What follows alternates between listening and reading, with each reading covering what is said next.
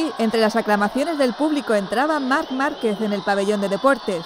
Poco antes hacía su presentación en los claustros de San Francisco.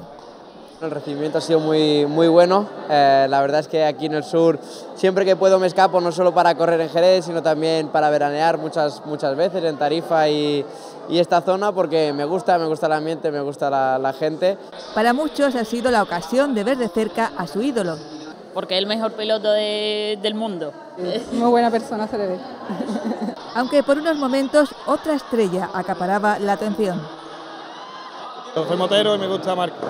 Para el pueblo, una ocasión de promocionarse gracias al concurso de Repsol. Tiene una repercusión importantísima para nosotros porque permite que nuestro patrimonio, nuestra gastronomía y todas las bondades de Villamartín puedan estar a la luz para todo el mundo. Villamartín salió vencedor con las votaciones en las que han participado poblaciones de toda la provincia de Cádiz. Para mí es un pelotazo, vamos, porque me encantan las motos, llevo muchísimo tiempo votando, me he gastado los megas de mi móvil en votar para que me tocara y he sido uno de los afortunados. Al campeón del mundo más joven de MotoGP le han puesto una tapa con su nombre en el restaurante La Hacienda El Rosalejo. Tras el baño de multitudes, la vista está puesta en el siguiente reto. Preparados para, para el primer Gran Premio de, de casa, el primer Gran Premio de, de, Europa.